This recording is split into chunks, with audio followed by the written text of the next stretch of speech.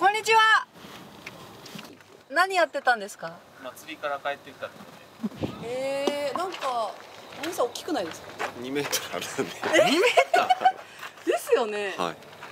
え？身長正確にはいくつですか？と一応2メーターちょっとぐらいとは思うんですけど、2メートル1とか199って言うと、うん。あ惜しいとかって言われる。もうめんどくさいんでも2メートルです。お仕事は何関係の？私はあの神主をしてまして、あえ？はい。神主？はい、高松の田村神社に勤めてまして。実家がここで。じゃあの父がこあのこの引田の町の神社の宮司で、はい、あれ。あれ親父です。あお父さん。こんにちは。突然すいません。じゃあ宮司さんなんですか？そうなんです。一応。ね。でも僕七十九です。あそんなにあります？年ちゃいますよ。ちょっと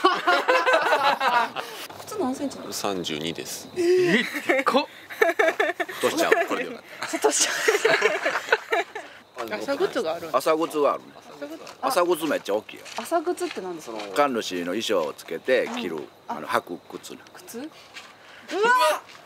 え？何これ？お大きいよ。でかっ。ちょ比べるものがないと 脱いでそれ入れたらここら辺までしかないからわかるんちあゃう？本当ですか？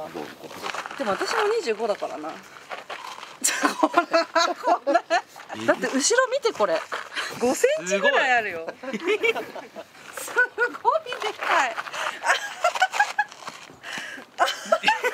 あでもぴったりだほら。すごい。いやぴったりで作ったんや下駄をあつらえた時に、まな板みたいなかったいや下駄屋のあの親父さんが「えこんなん誰が履くの?」って。